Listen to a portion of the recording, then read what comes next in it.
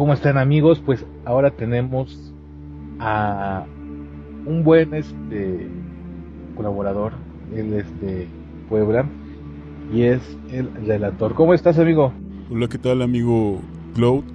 Así es, muchas gracias por tu apoyo, por estar eh, al pendiente de algunos mensajes para estar en estos momentos ahora transmitiendo.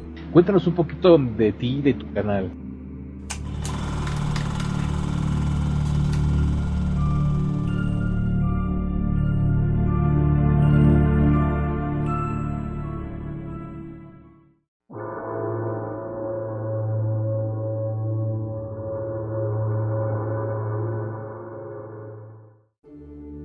Pues mira, en mi canal podrán encontrar eh, todos los amigos de YouTube leyendas, leyendas urbanas. Generalmente utilizo lo que son las leyendas coloniales, todos aquellos hechos, ya sabes, el puente eh, de los duendes, la calle del muerto, el callejón del muerto, mejor dicho, entre otras, no generalmente en épocas coloniales había grandes historias de calles, de casas, entonces estoy tratando de contarles a todos los que estén interesados acerca de estas historias, de estas leyendas, para que no se pierdan en el olvido y de esta manera se vayan difundiendo. Este, aparte tienes un programa de, radio, ¿cierto? Así es, eh, del mismo nombre se titula El Relator. Pasamos cada eh, sábado en punto de las 7 de la tarde, de 7 a 8. Y tengo mi canal secundario donde eh, se van transmitiendo eh, sábado a sábado cada emisión del programa. Perfecto. ¿Y los amigos que se quieran comunicar contigo, a dónde lo deben de hacer? Pueden hacerlo directamente a la página eh, de Facebook, nos pueden buscar como programa El Relator o simplemente como El Relator. Hay dos cuentas, una que es dedicada al programa y una dedicada a el canal. En cualquiera de las dos nos pueden dejar sus comentarios, mensajes o también al correo elrelator 107.5 arroba gmail.com. Perfecto amigo. Y bueno, acabas de decir que tienes muy buenos relatos y tienes muy buenas historias. ¿Alguna que recuerdes para empezar y arrancar este video?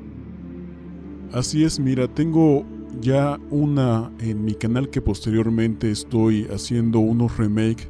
Esta se titula el jugador de ajedrez, en la cual eh, trata acerca de que hacía ya varios años en el barrio de Tacuba, ya en la Ciudad de México, había una peste donde muchas personas eran las que estaban muriendo de cólera. Estaba el señor Julián junto con sus grandes amigos en una noche de juego de ajedrez en la cual Justamente en esos momentos pasó alguien gritando que se encontraba el cólera, que estaba la peste y que no salieran de su casa si es que no querían morir. De esta manera, el Señor intentó animar y ayudar a sus amigos y evitar que salieran de su casa. De esta forma, intentó eh, tener una convivencia con ellos y alrededor de una semana no salieron para nada. Ellos tenían provisiones y para matar el tiempo tuvieron algunas partidas de ajedrez en las cuales don Julián siempre salía victorioso.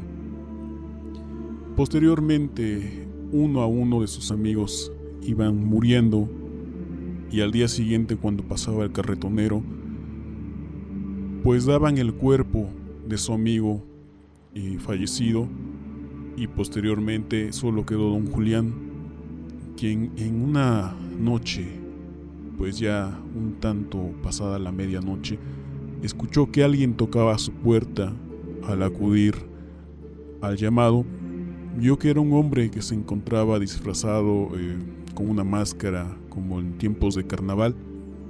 Este hombre le dijo que lo esperaría más tarde y que como él, su amigo, había ganado todas las partidas de ajedrez, él regresaría posteriormente para jugar una última partida. Si ganaba don Julián, estaría vivo, pero si no, sería otra la historia. Don Julián comprendió nuevamente que estaba frente a la muerte misma. Pasaron las horas, llegó nuevamente este hombre, esta figura, jugó una partida de ajedrez y pues don Julián perdió la batalla. Le dijo que posteriormente regresaría por él, por el último hombre que quedara en la casa. Luego de esto, escuchó nuevamente ruidos, pensó que era su visitante, pero al salir a la sala encontró a un ladrón con una gran bolsa que estaba eh, pues robando, extrayendo los objetos de valor y le dijo este ladrón, no hagas nada, no intentes nada, porque si no vas a morir. Don Julián pues hasta cierto punto se encontraba tranquilo ya que él sabía que horas iba a morir, ¿no? Posteriormente él le dijo, amigo, toma todo lo que quieras, la casa es tuya, solo déjame tomar mi última copa de vino en paz.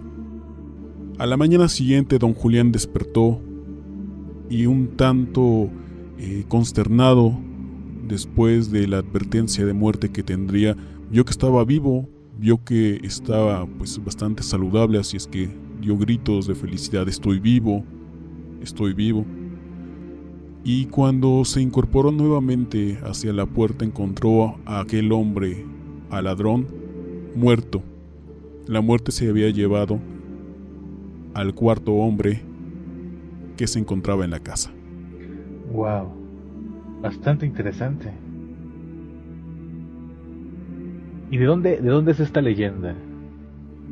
Esta leyenda es de allá de la Ciudad de México, de ahí del, del barrio de Tacuba, donde eh, pues se vive esta historia en aquellos años coloniales. Pues interesantísimo todas las historias que hay, y sobre todo en la Ciudad de México, en Guanajuato también hay muchas muy buenas que es lo que más he estudiado.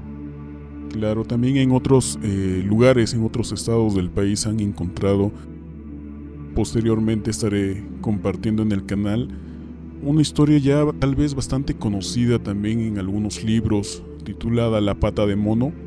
No sé si has escuchado acerca de ella. No, de esa no la he escuchado. ¿Te parece si brevemente te la, te la platico? Por supuesto, claro que sí es bastante conocida acerca, de un objeto cuyo tiene, tiene un gran poder conferido por un hombre santo como se le conoce a ciertos eh, hombres, a un fakir. Es entonces cuando un hombre desarrapado, un tanto vagabundo, llega a una ciudad y se estaban celebrando ciertas eh, festividades, entonces el gobierno pide que eh, sean arrestados todos los hombres que se vean pues mal, de mal aspecto, los vagabundos, los, eh, las personas que no tienen un, un hogar, por llamarlo así. Entonces, este hombre, el principal de la historia, encuentra debajo de esa tierra, de esa mugre, a un gran amigo suyo de la infancia, lo reconoce, lo invita a su casa, para posteriormente eh, platicar y charlar el porqué de ese estado en el que se encontraba. Él le platica todo acerca de su vida, todo lo que pasó en el mundo, varias historias.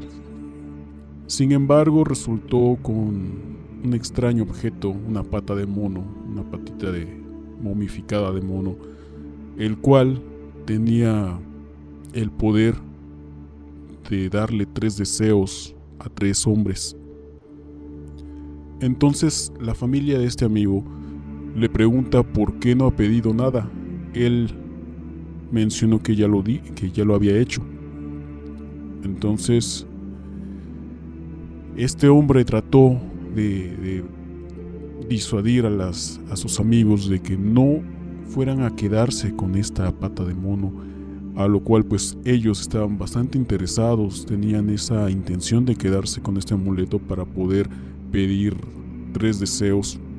Sin embargo, pues él trató de convencer demasiado que, que eso era una maldición, era una maldita pata de mono la cual traía desgracias y que todo lo que pidieran iba a ocasionar desgracias precisamente. Las personas pues estaban demasiado ansiosas por pedir estos deseos. El hombre, el vagabundo, dejó esa, esa pata de mono en su poder, pero en el momento en que él se retiró, igual de veces que intentó eh, disuadir que no se quedaran con el objeto, les hizo una última advertencia, que sean cautelosos con lo que pedían o no lo culparan por lo que pasara después.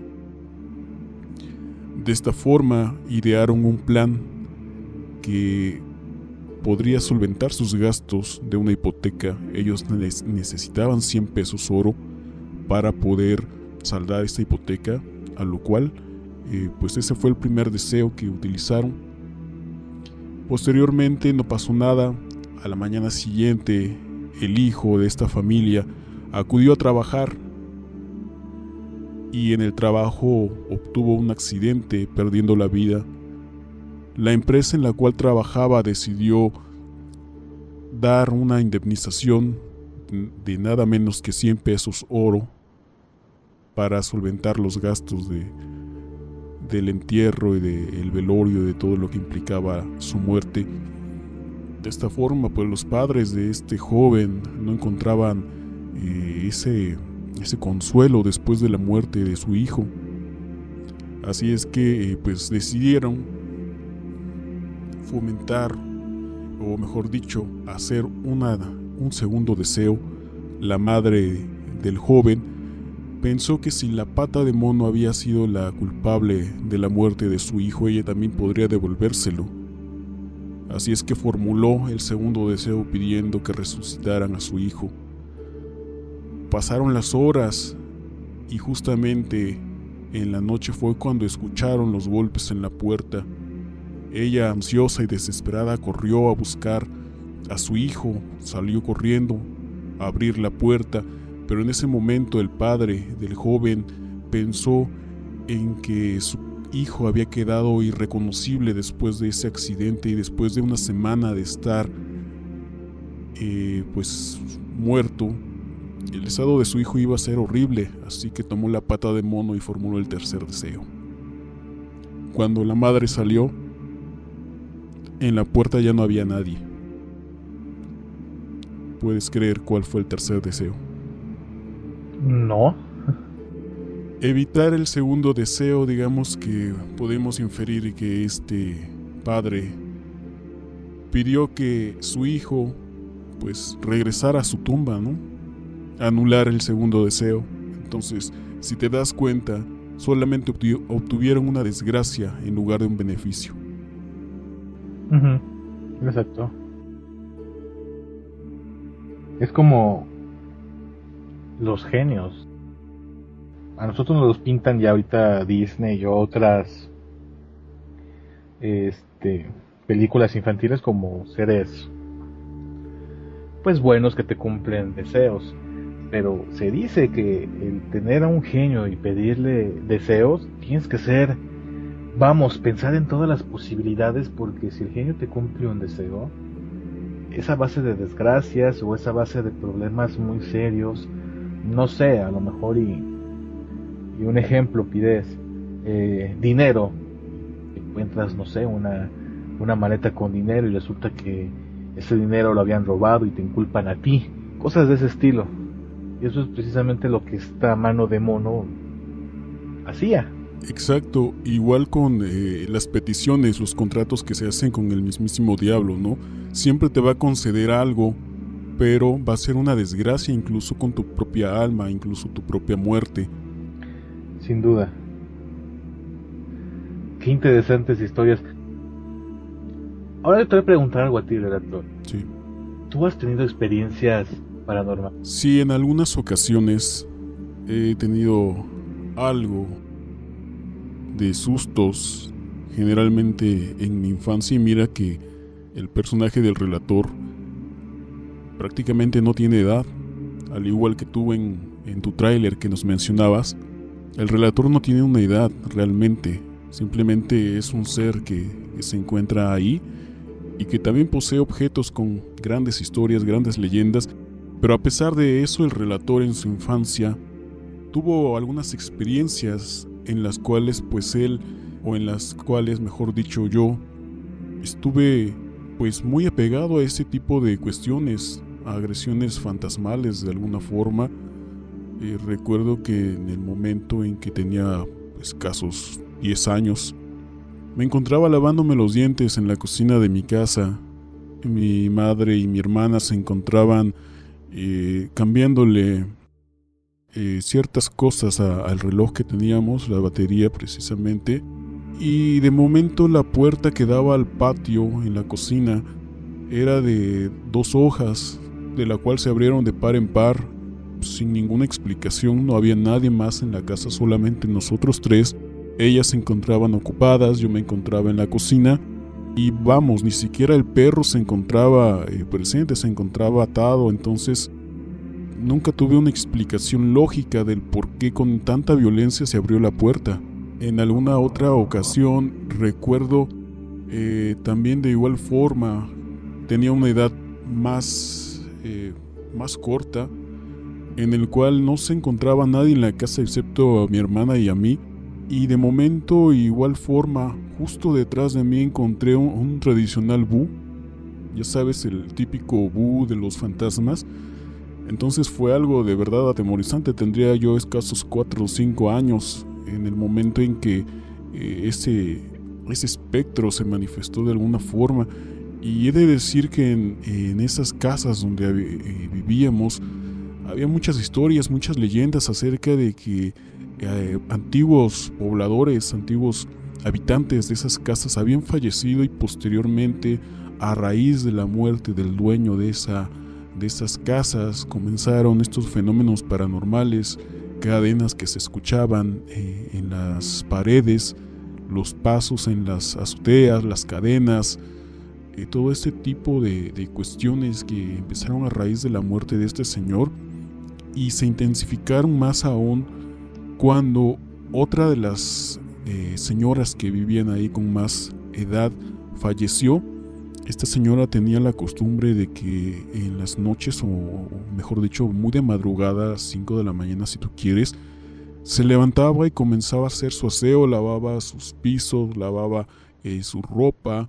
Entonces la gente cuenta que posteriormente en las noches, a raíz de su muerte, se encontraban pues vestigios de que alguien hubiera lavado el, piso, se escuchaba cómo tallaban, se podía ver una figura en, el tejado, en el techo, eh, tendiendo ropa, pero obviamente no era nadie. Bastante interesante. Curiosamente, la mayoría que estamos en este tipo de ambientes, y los que nos gustan mucho las historias de terror, siempre hemos tenido cosas extrañas. Por ejemplo, yo pasé muchas cosas este, muy parecidas. Eh, por ejemplo, tenía que será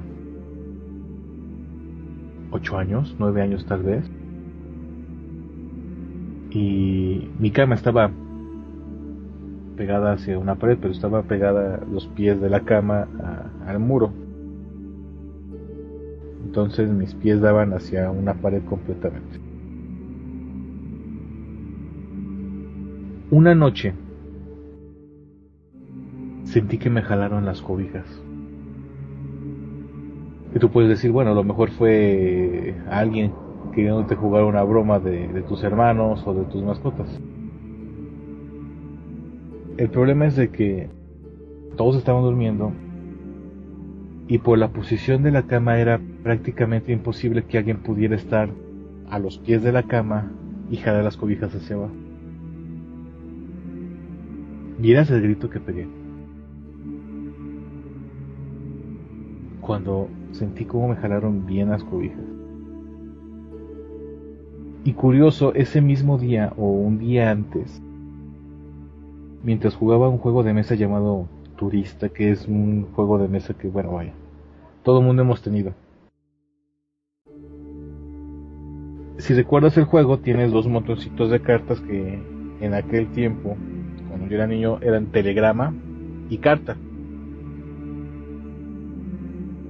Yo estaba jugando con uno de mis hermanos y vi como una figura, como si fuese un duendecito, como si fuera un, un ser pequeño, salió corriendo del montoncito de cartas al montoncito de telegramas. Y fue en ese instante cuando sentí algo extraño. Recuerdo que tenía un, un este, estaba escuchando en el radio una, una canción de, de dance, creo. En aquel tiempo era um, Polymash, no sé si recuerdas, creo que era un, un, un disco, un cassette de aquel tiempo. Era Polymash el que se estaba escuchando. Creo que lo escucho ahorita y me da miedo. Porque me, me trae todos esos recuerdos de, de mi infancia, de cómo me asustaron. ¿Cómo ves, relator? Sí, yo creo que al igual que tú, muchas personas han, se han visto en esa situación donde le sucede. Incluso te voy a compartir otra historia, esta no me sucedió a mí. Esta me la platicaron eh, mi abuela, que justamente estaba eh, mi padre recostado en, el suelo, no recuerdo bien exactamente el por qué. Entonces ella, al estar justamente cerca de mi padre, eh, y vio que se quedó dormido, entonces tomó una cobija y, y lo cubrió hasta el cuello. Sino que me platica que a los pocos minutos vio como desde los pies le iban bajando lentamente la cobija hasta pues llegar prácticamente a las rodillas. Justo en ese momento pues ella se le hizo un tanto increíble lo que lo que estaba viendo. Así es que eh, pues simplemente se quedó como una espectadora hasta que de alguna forma reaccionó y volvió a subir la cobija y taparlo nuevamente. Sin embargo, pocos segundos después notó que nuevamente iban bajando estas cobijas hasta eh, pues prácticamente los pies. Entonces ya sabes lo que se dice comúnmente, lo que la gente platica, es que tienes que decir ciertas palabras un tanto fuertes, groserías, palabras altisonantes, para que estos fantasmas, estas entidades o espíritus, como le quieras llamar, pues cesen de lo que están haciendo y realmente sí funcionó. Ella me platica que a raíz de que eh, hizo todo este, este parloteo en contra de estas entidades, pues la cobija ya no se movió, lo volvió a tapar y se quedó eh, en su lugar. No sé qué hayas escuchado tú acerca de, de este tipo de cuestiones. Bueno, hay bastantes. Por ejemplo, se dicen que pueden ser espíritus, que pueden ser brujas, que pueden ser incluso hasta duendes. Eh, hace poco estaba investigando un tema interesante que es de de sucubos e incubos. Y también hablaban acerca de que estos demonios hacían ese tipo de cosas. Eh, cuando yo estuve investigando bien todo este tema, muchas cosas que decían estos demonólogos a los que estuve leyendo se atribuyen muy bien a, cosas que me sucedían mí. Por ejemplo, eh, hasta la fecha yo siento que a veces me abrazan. Yo estoy completamente solo, o siento que alguien se me recarga, o siento la respiración de alguien, y siento incluso que me mueven las cobijas y que me las llegan a jalar. Desde ya hace mucho tiempo así, esté nevando, yo no utilizo cobijas, yo prefiero poner una chamada, ponerme una, una pijama de lana, algo eh, que me cubra, porque no me gusta sentir la sensación de que te vuelvan a jalar las cobijas. Muy seguido que a mí me pasa ese tipo de cosas. Yo creo que por eso no aguanté viviendo solo mucho tiempo. Hay muchas cosas que que posiblemente sean, pero yo jamás les, les dije malas palabras. Yo nada más decía en la mente, mientras no se quieran pasar de listos, todo está bien. ¿Cómo ves, eh? Sí, pues yo he escuchado eh, precisamente eso y todo lo contrario que, que es eh, las malas palabras. Eh, otra de las historias de mi abuela que me platicaba precisamente es que ella en una ocasión se encontraba pues reposando, podríamos decirlo así, ya entrada la noche y sintió como si se estuviera moviendo la cama.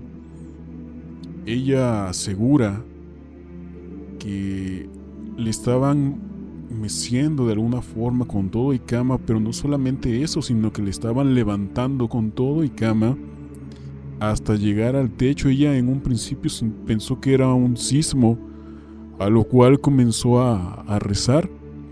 Justo cuando comienza a orar, eh, comienzan a moverla todavía más fuerte. Entonces, eh, justamente cuando vio ya de cerca el techo, pues ella se dio cuenta que ya no era un sismo, ¿no? Pensó que era cualquier otra cosa, que no era algo bueno, entonces decidió pues prácticamente las malas palabras que ya le habían funcionado en su, en su momento, justamente cuando hizo este, este acto, la dejaron caer en seco. Y pues bueno, es una de las tantas historias que, que me ha platicado y en su momento en mi familia hemos He tenido bastantes historias. A mi hermana, por ejemplo, también justamente en la misma casa donde te platico que se abrieron las puertas de par en par.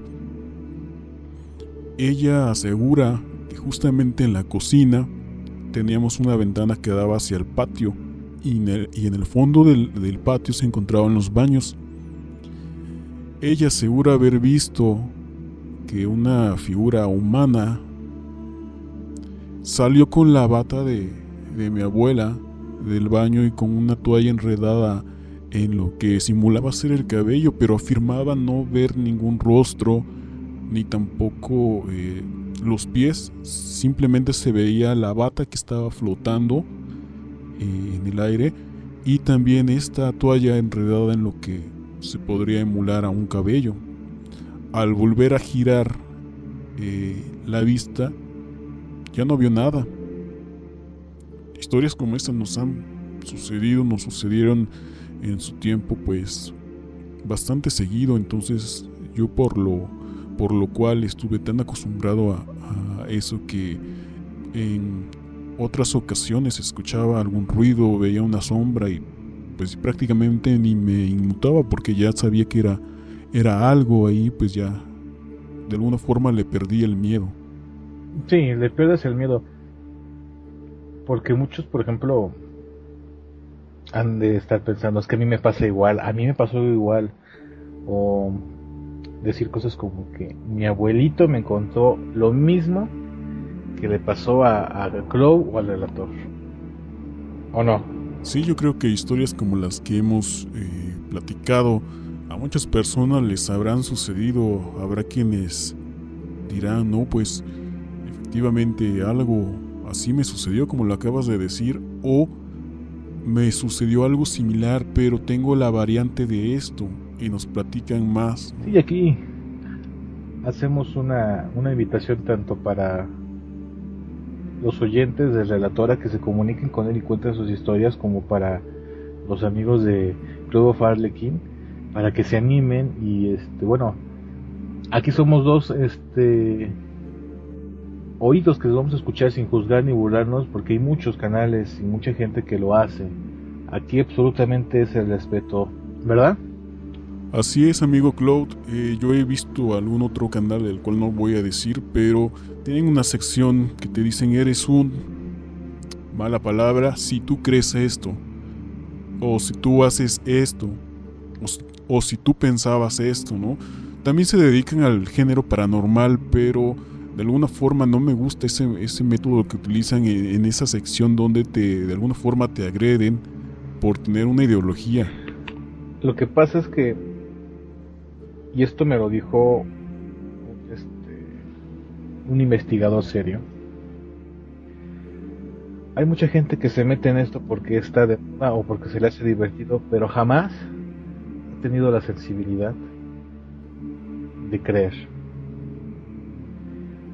Por ejemplo, si la puerta se abre, uno puede pensar es el viento.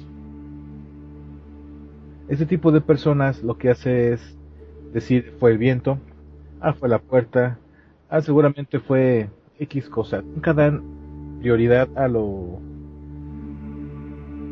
a los fenómenos que pueden suceder y simplemente se basan en o tratan de emular a otros tipos que hacen exactamente lo mismo pero es que son más serios. Sí así es.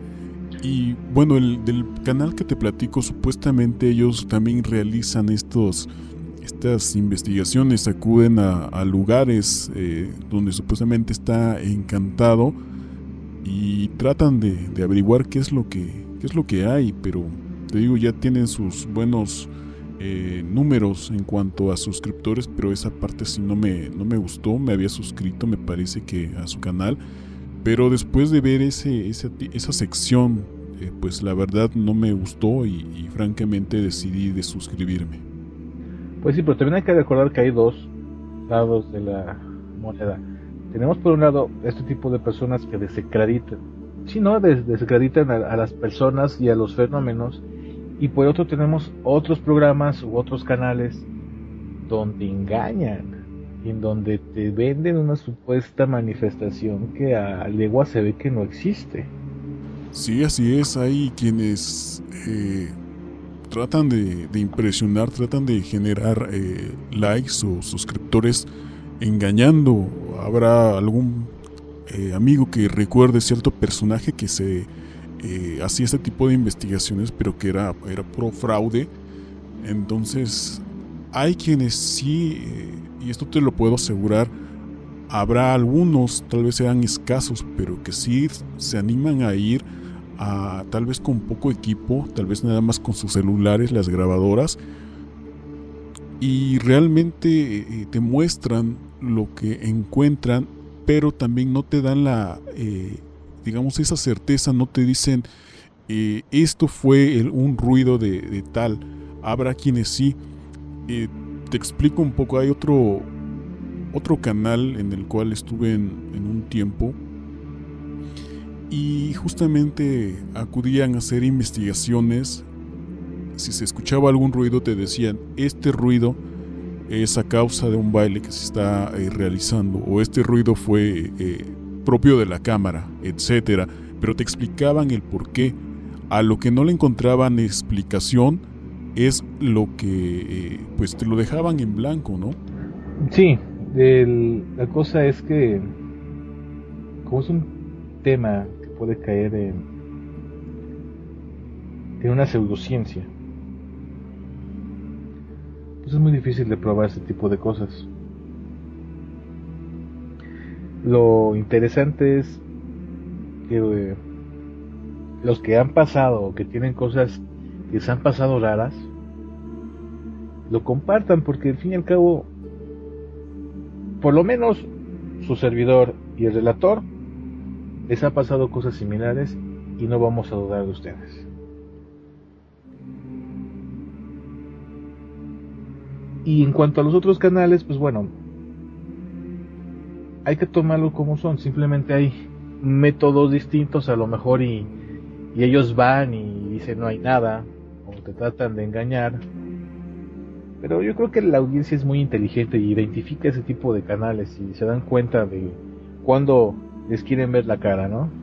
Así es, y pues déjame eh, comentarte que yo tengo en mi poder algunas eh, psicofonías como se les llaman, donde precisamente eh, editando el audio encontré eh, esas voces, este, esta investigación que te menciono se hizo en un ex convento de acá del siglo XVI, si no mal recuerdo. Entonces encontraron ciertas voces y te puedo decir que hasta ciertos olores se encontraban dentro de, este lugar que minutos antes no se encontraban.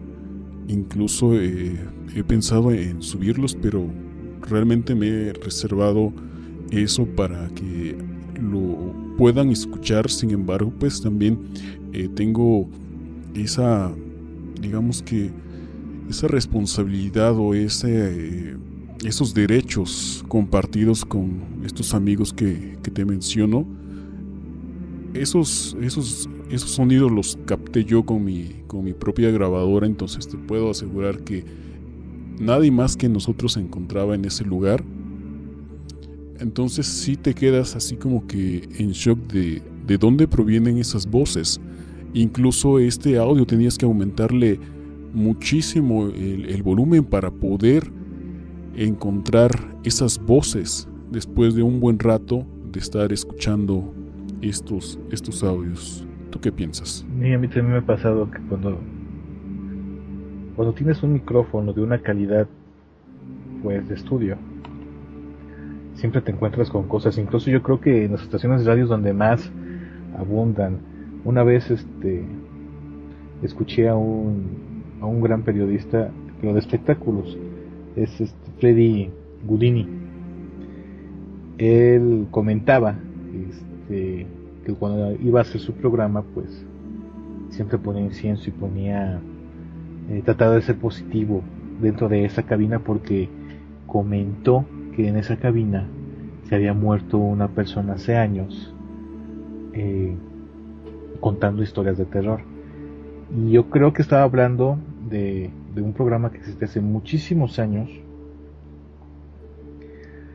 que este no recuerdo bien, creo que es Víctor Manuel Soto el, el, el locutor. Él era digamos que el padre de lo que es ahora la mano peluda, yo tenía un programa llamado La mano pachona. Y él contaba que siempre que grababa ese tipo de audios, siempre había psicofonías ocultas. Eh, por eso es que empezaron a colocar ruidos este, de fondo. Yo creo que para que no se dieran cuenta que estuvieran ahí, ¿no? Eh, los mismos técnicos, ¿no? Para no asustarse. Porque a mí me ha pasado que yo grabo estoy limpiando mis audios y escucho cosas. Eh, no le quiero dar importancia, simplemente las borro, las quito, porque pues yo grabo en, un estudio en mi casa y pues este, yo creo que que si quisiera sacar psicofonías no lo haría dentro de mi casa porque pues me, ya no sería cómodo. Y las psicofonías siempre se dan por algo. Ahora,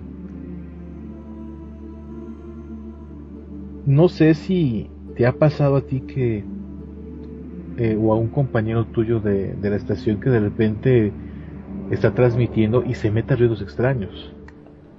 En alguna ocasión, siento que en, alguna ocasión sí le pasó a un compañero, eh, él se encontraba grabando precisamente eh, un audio para uno de sus programas y en cuanto estaba limpiando precisamente este audio encontró una voz. Realmente no pudimos descifrarlo. Lo que decía no era, eh, era prácticamente inaudible, inentendible, podríamos decirlo así, porque se escuchaba que estaba ahí esa voz, pero no pudimos eh, descifrar lo que, lo que decía. Es lo único que ha, lo que se ha escuchado o se ha filtrado en las grabaciones de lo que me he enterado sin embargo, también aquí en este lugar se dicen muchas cosas acerca de, unos niños que también andan aquí en, estos terrenos. Es interesante porque ahora, y esto te lo voy a dejar de tarea para que tú lo trates de, pensar, siempre existe un detonante de cuando se escuchan ese tipo de voz. Por ejemplo, en el caso de tu compañero pudo haber sido que estaba transmitiendo algún sentimiento estaba dando algún tipo de noticia o algún tipo de evento emotivo que pueda detonar el, el que se filtren esas luces. Voy a confesar algo que lo tenía guardado. No creí que fuera importante, pero lo voy a comentar. Yo cuando grabo los Nightmares, eh, son creepypastas que son en primera persona vamos, a mí me dan el creepypasta, yo lo leo y otra persona yo lo modificamos para que sea un poco más coherente eh, si es que necesita, porque hay unas creepypastas que son muy buenos, pero que sí están pues escrito con las patas. Entonces, este pues se modifican para poder grabarlos. Y yo tengo el gran defecto de que cuando yo estoy en el texto, yo me siento el personaje de. Hay varios creepypastas que, como yo los grabé originalmente, jamás dieron la luz porque cuando yo termino de grabar, voy con, con unos, este, con dos de mis pinches de por acá y lo escuchan. Hay veces que me dicen, está bien, así déjalo. Hay veces que me dicen, no sabes que sí, como que te fuiste muy rápido. Pero en la mayoría de las ocasiones, dice, no sabes qué, vuelve a hacer porque te pones muy mal. ¿A qué te refieres con que me pongo muy mal? Si el personaje tiene terror, yo empiezo a sentir el miedo. Y es una sensación que yo siento de que empiezo a sentir escalofrío, me empieza a dar miedo. En varias ocasiones se me ha quebrado la voz relatando los, relatos estos, los, los creepypastas, porque estoy sintiendo el miedo que tiene que tener el personaje, porque pues cuando uno trabaja con la voz y en especial con relatos uno tiene que transmitir eso. Pero me dicen que no lo haga, que porque voy a paniquear a mucha gente. Voy a dejar uno, van a ver.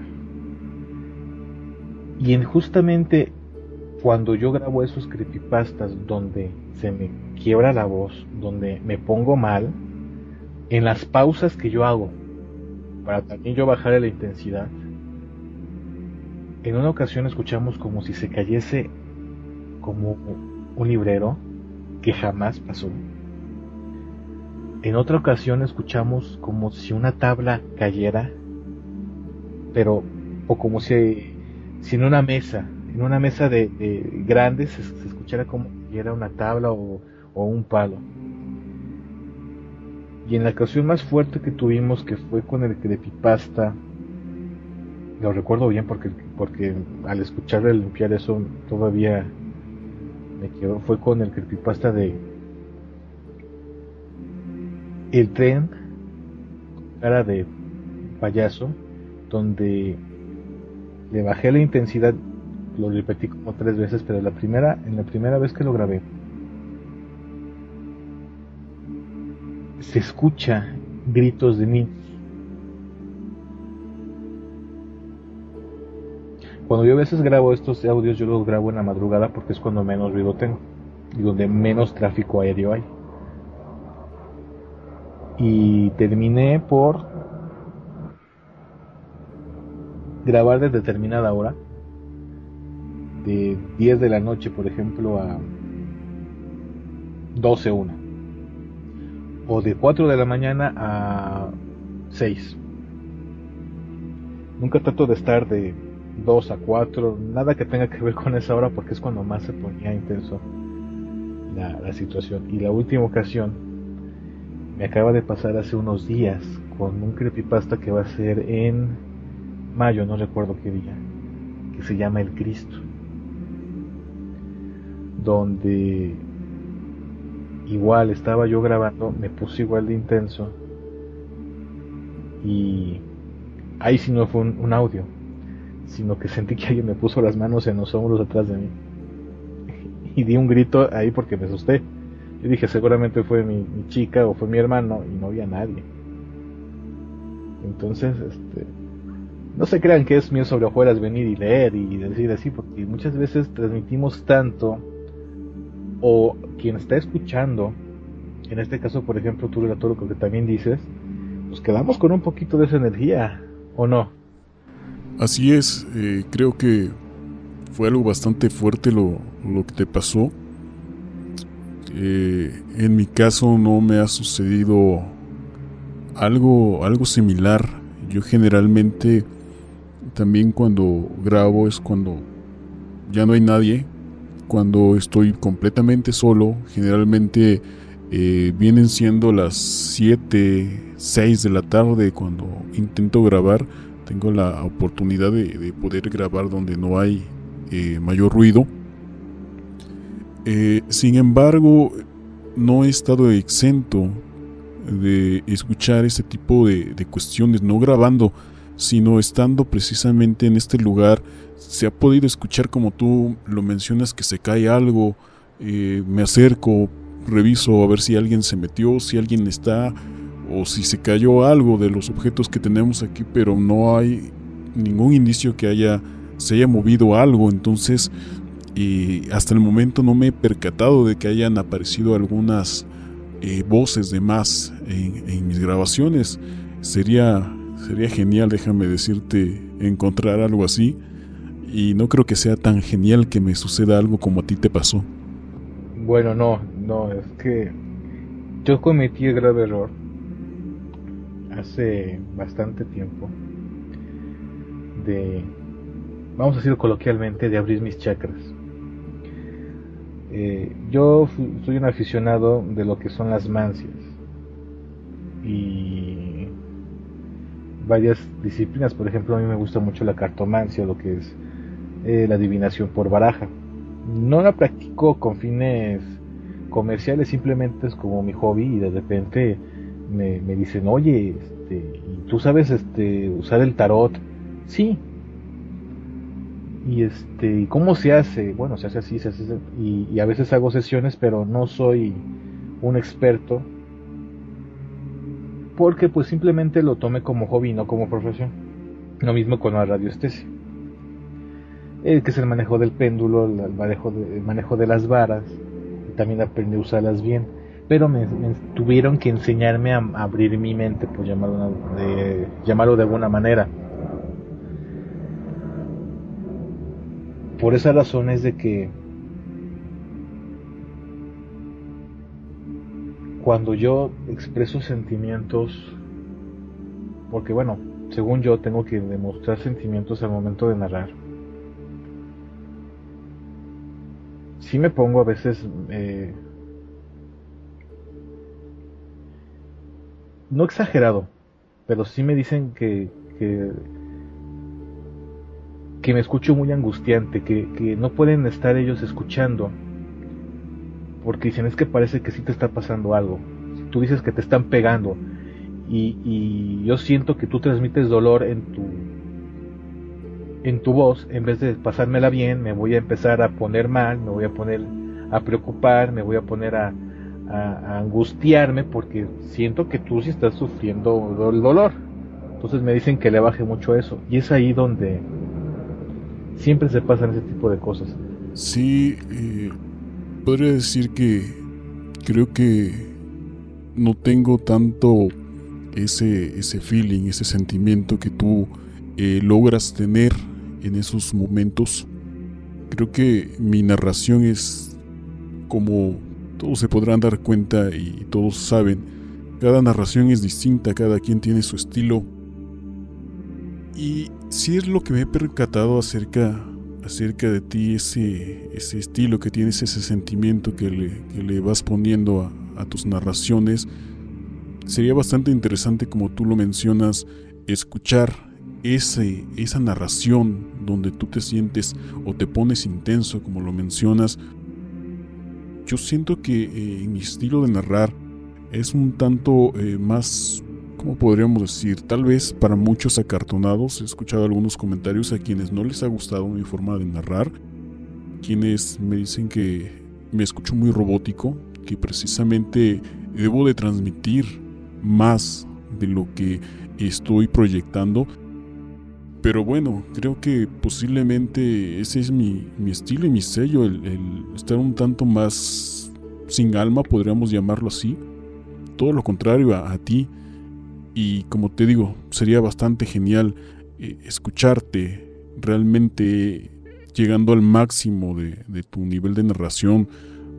Espero que, como lo mencionabas hace unos minutos, pronto lo, lo te animes a dejarlo eh, realmente ese, ese estilo, aunque sea en alguna vez en, tu canal, que lo, lo pongas tal cual.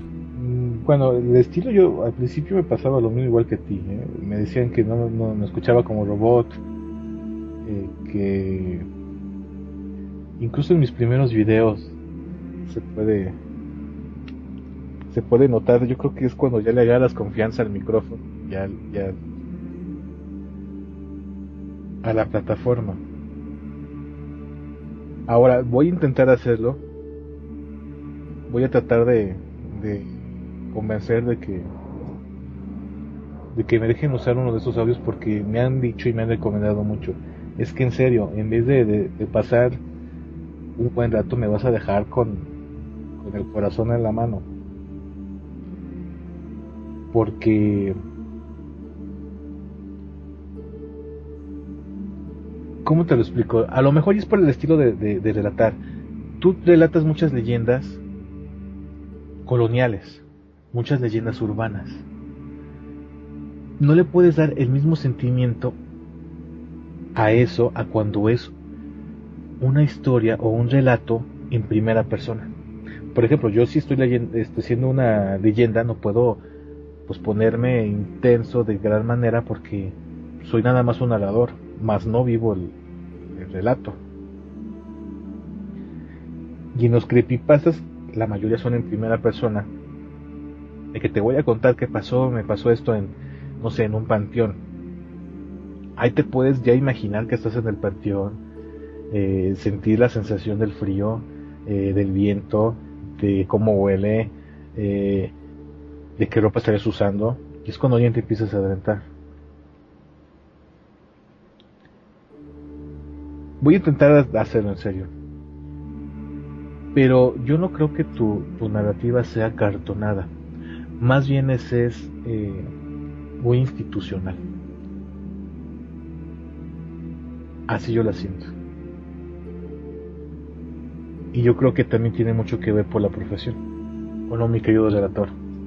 Posiblemente, mira que no me había dado cuenta acerca de lo que eh, mencionabas. Tienes mucha, muchísima razón.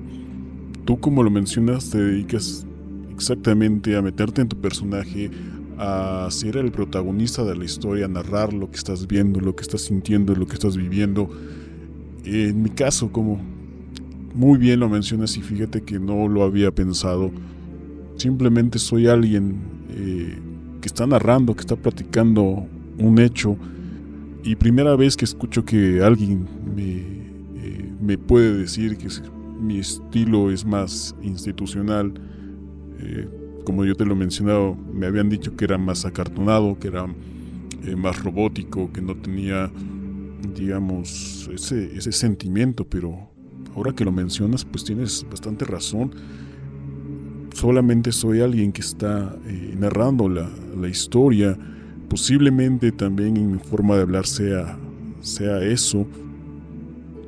Pero pues en algún momento también trataré de hacer algo más. Fíjate que para otras cosas, para otras historias, otros cuentos también que eh, también próximamente estaré pensando en hacer.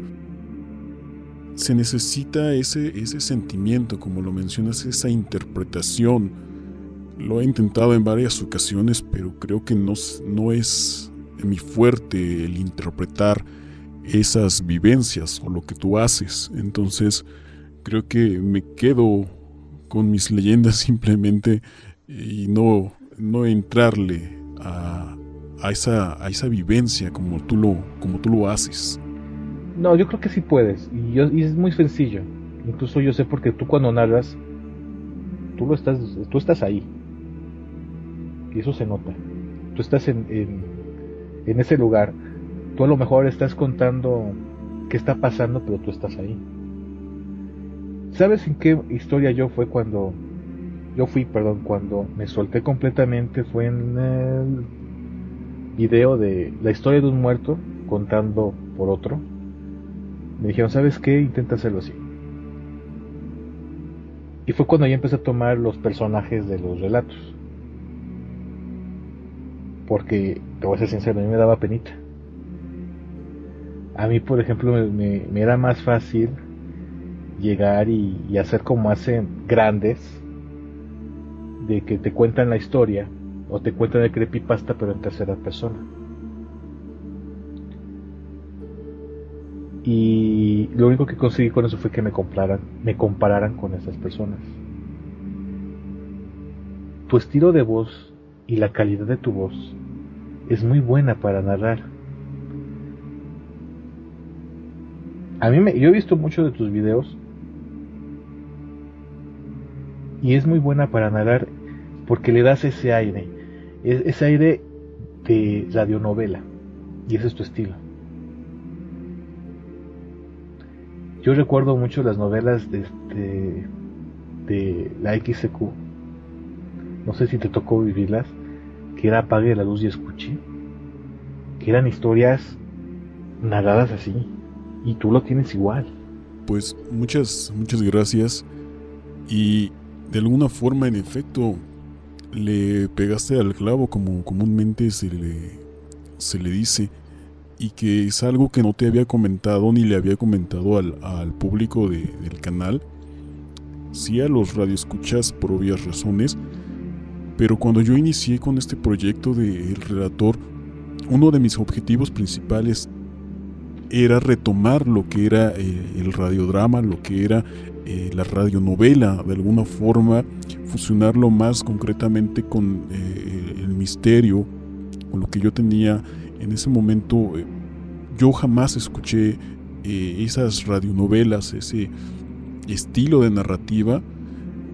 Y bueno, también uno de mis referentes, aunque parezca un tanto ilógico, tú lo mencionabas hace unos minutos acerca de la mano peluda, de la mano pachona. El señor Juan Ramón Sáenz, quien era uno de los fundadores más conocidos de este proyecto, ¿Cómo no? Sí, él, él, era genial. Incluso tengo por ahí alguna historia, una historia de su autoría que tengo, eh, estoy en proyecto de grabarla y narrarla. Pero fíjate que yo lo veía más en el programa de, de, televisión donde él se presentaba para contar alguna, alguna historia. Te digo, suena un tanto incoherente que sea mi, uno de mis eh, favoritos si no lo escuchaba, simplemente lo veía y lo escuchaba, pero por tele, no por radio. Entonces yo cuando decidí hacer este proyecto, uno de mis objetivos era principalmente retomar ese estilo de eh, narrativo de las radionovelas, implementarles un tanto más del género de terror, pero lo que yo quería precisamente era utilizar todos esos efectos en las historias, esa música, ambientarlas, para posteriormente presentarlas al público y que se fueran imaginando. Era uno de mis objetivos. Entonces creo que tú sí lo notaste bastante bien. Y pues muchas gracias por, por los elogios de, que, tuviste conmigo. Y bueno, estaremos tratando de, mejorar. Fíjate que si tú revisas mis videos, en un principio cuando inicié con este canal no tenía la intención de hacer lo que estoy haciendo ahora. Simplemente quería que se escucharan mis, mis relatos y subía un, un video hoy, otro hasta dentro de seis meses, si tú quieres. Pero fue hasta prácticamente hace un año cuando eh, decidí tener este, este canal ya con fines más de, de difusión y que sea algo constante. Entonces, si tú comparas una de las primeras historias que narré de la muñeca enterrada, por ejemplo, que tiene como dos años, si no mal recuerdo, a mis relatos eh, de ahora creo que sí he mejorado un poco en, la narrativa y espero seguir haciéndolo. Y bueno, para el futuro tengo muchos planes que, realizar y que espero que en algún momento tú lo puedas ver. Pues posiblemente te puedo decir que tal vez sea en un año, seis meses, lo que tengo pensado hacer. Entonces espero que, mi narración también vaya mejorando. Y, pues muchas gracias, Claude, por, por la oportunidad que me has dado. Nada, ¿y qué te parece? Mira, se me acaba de ocurrir algo. Hablando de las radionovelas de terror, hay muchos canales de terror. Por ejemplo, está Lord Scar. ¿Por qué no hacemos una radionovela nosotros? Cada quien con un personaje. Con un proyecto nada más dominguero. Sí, eso estaría, estaría muy bien. Habría que, que platicarlo y revisar cómo, ¿Cómo podríamos hacerlo? Ya lo dirán los, los suscriptores. Si quieren que participemos en una radionovela, de un capítulo, tampoco no nos vamos a aventar la serie de ocho semanas. Porque no vamos a poder. Digamos una leyenda, tomamos una leyenda y hacemos un guion de ella. Y cada quien que tenga su personaje y, ver qué tal queda. Se queda como proyecto y al final los suscriptores y todos los que nos están escuchando, tanto de tu lado como de, de este, de, radio y de tu canal, tanto como del mío de, del canal de Claude Farlequin, vemos si se quieren animar y ya nos dirán ellos si les interesa escuchar. Así es, eso quedaría, sería genial, una buena, una buena idea que, que has tenido y bueno esperar que alguien se interese y para darle luz verde al, al proyecto y, y, que la gente lo, lo escuche.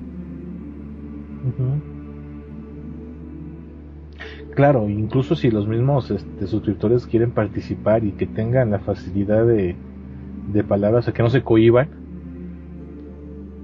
eh, pues que se anime también este, y que sea parte del proyecto. Sí, estaría, estaría genial, muy bien. Y que pues los amigos que nos estén escuchando en este momento y quieran participar, pues se pongan en, contacto ya sea contigo o conmigo y vemos la manera de, incluirlos. Y bueno, en, el programa de radio que tengo te, te comento, también he hecho eh, alguna convocatoria local para que nos vengan a platicar, incluso para algunos cuentos que, tengo grabados han venido eh, porque quieren participar, les gusta la idea y quieren un personaje para poder este, transmitir también lo que, lo que ellos traen, ¿no? porque ellos sienten que pueden dar eh, pues un buen personaje, quieren aportar su o simplemente quieren experimentar este entorno, entonces pues bueno, bienvenidos todos los que todos los que quieran. Por supuesto, aquí lo único que se necesita es que tengan facilidad de palabras y que no sean tímidos. Sobre todo. Sí, así es. Entonces ya lo saben, si tienen facilidad de palabra, no son tímidos y quieren participar, pues bueno, estaremos estaremos viendo de qué forma. Claro, sobre todo que se animen, que se, que se anime la comunidad a decir, sí queremos escucharlo, sí queremos ver a, a Cloves, queremos ver al relator y a los demás este, integrantes del equipo que debe formar, así relatándonos una historia. Porque ya no hay radionovelas, ya no hay radiorelatos. Y pues bueno, tanto mi canal como el tuyo y como el de Lore Scar y todos los que se dedican a relatar historias, nosotros no les vendemos el video, sino les vendemos el audio. Correcto.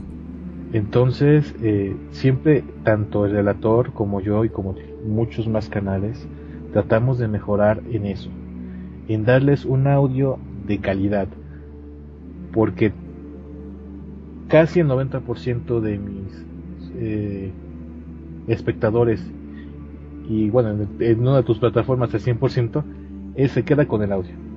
Así es.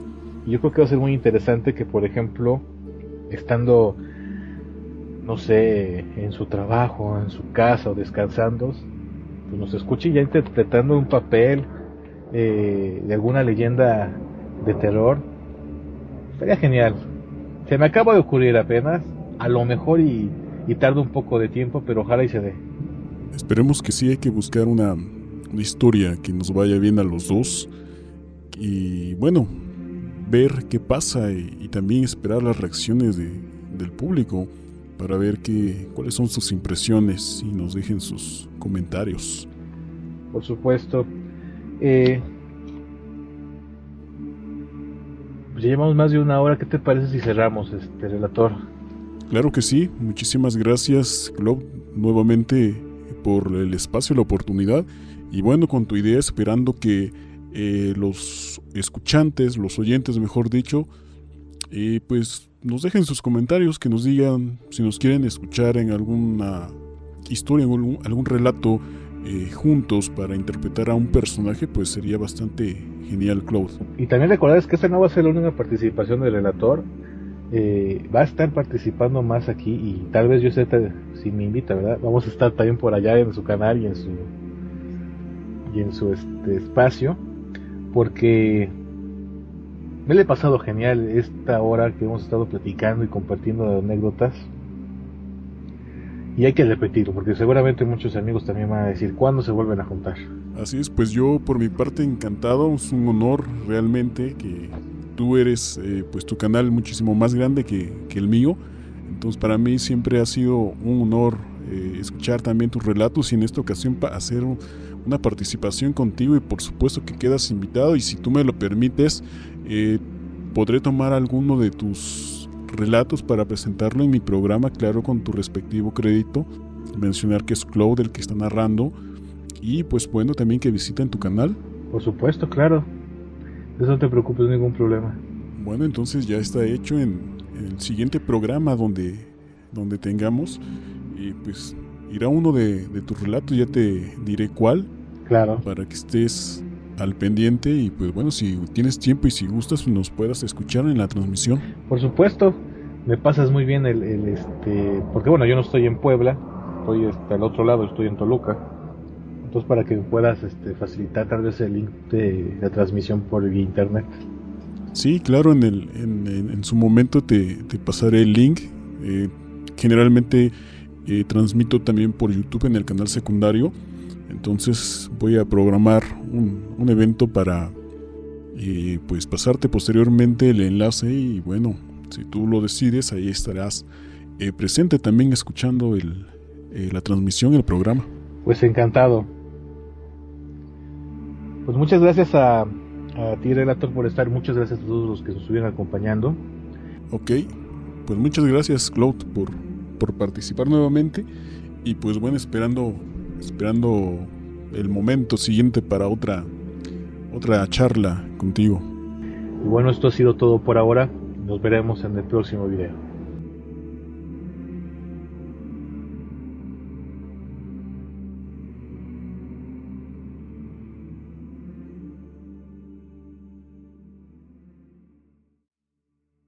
Si el video te gustó, por favor da like y suscríbete. Si crees que merece ser compartido, adelante. Te lo agradeceré en demasía. No olvides seguirme en mis redes sociales. Links en la descripción. Quisiera conocer tus impresiones. Por favor, déjalas en la caja de comentarios. Escucha con atención a El Relator.